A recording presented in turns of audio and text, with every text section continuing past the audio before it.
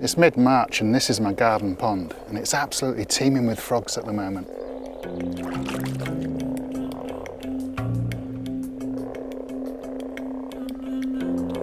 These common frogs will be here mating for two to three weeks,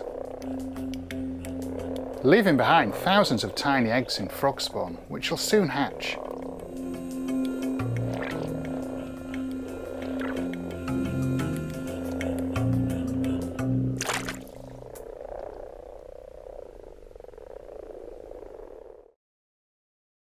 Thank you for watching and I hope you enjoyed the video. Don't forget to like, comment and subscribe to see more. Here's a taste of what you'll enjoy seeing on this channel.